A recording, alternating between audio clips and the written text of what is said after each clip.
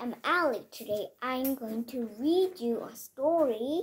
Pinkalicious Fairy House. Are you ready? Yeah. Ooh, I love this fairy house. I just want to get it one day.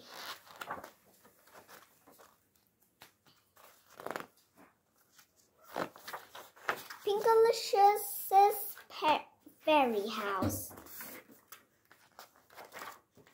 It was spring, my favorite season.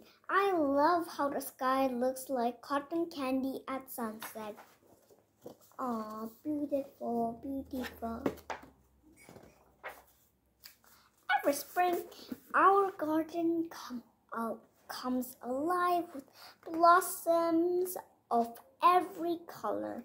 I know why our gar garden is so beautiful. It's because of the fairies. Fairies came of our yard and sprinkle fairy dust to make the plants grow. I have never seen them, but I know that they are real. I can see sparkles outside my window.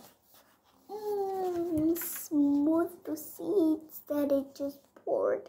It's, it's all covered in flower garden now.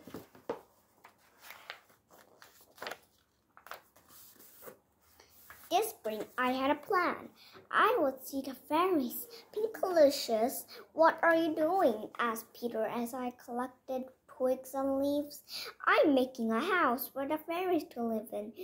Then they can live in our garden, and we will be able to see them, I said. Oh, she has a wonderful plan, but fairies aren't real. I want to see them too. Let me out, said Peter. He brought out his shell collection. Let's build a house here in the garden, I said. Fairies, fairies are sure to come this way. And piece by piece, we built a little house. I love buttercups around Around the door, Peter made a pathway with his shells. Ooh, yeah. Soon we had a cozy home for the fairies. I couldn't wait for them to come. Every day I watched the house from my swing. Well, so great. I love this house, the gardens that I have thought that I just know. Whenever I describe them.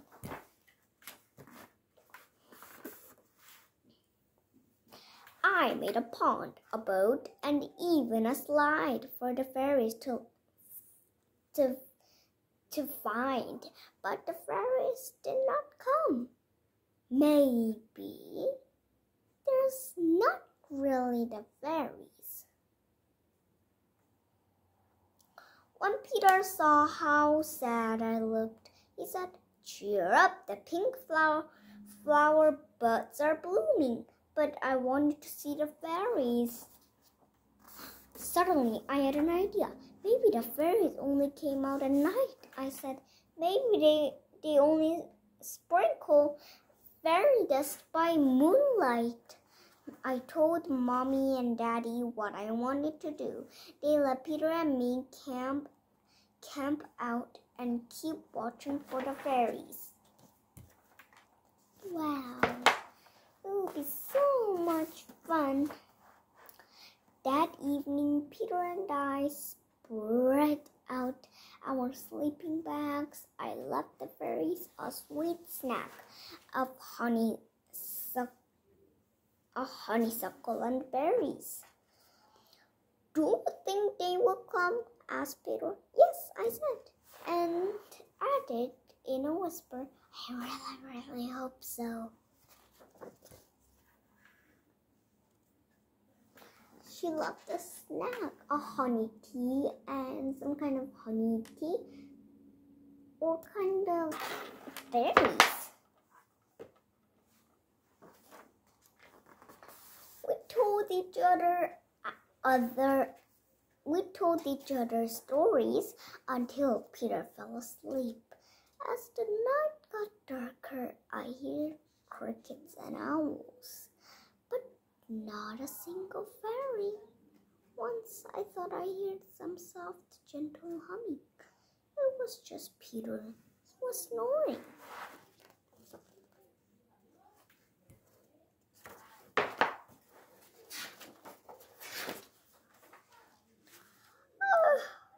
I did everything I could um, to stay awake.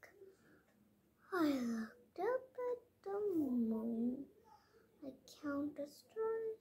I didn't want to miss the fairies. Oh. But as I counted the stars, my eyelids oh, got heavy. I couldn't help it. I drifted off to sleep.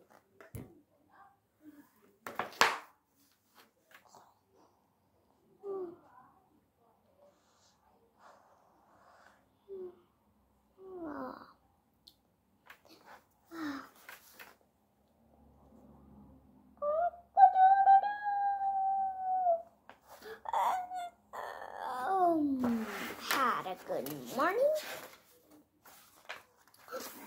The next thing I knew, I heard a bird singing. I opened my eyes. It was done. It was done. I heard hushed voices in the garden. Mommy and Daddy were looking at something together. How beautiful, they said. As I searched, a sweet smell filled the air all around me. Colorful flowers were in full bloom. I looked at the fairy house. The honeysuckle and berries were gone. The fairies came, I cried.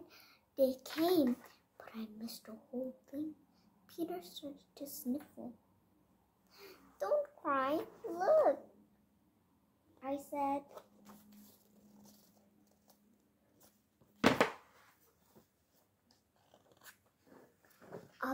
I couldn't see glimmers of light shooting across the early morning sky.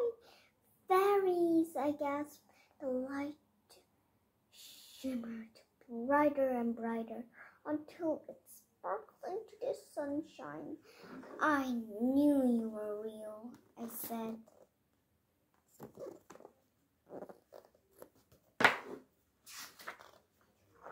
My family and I watched the sun come up.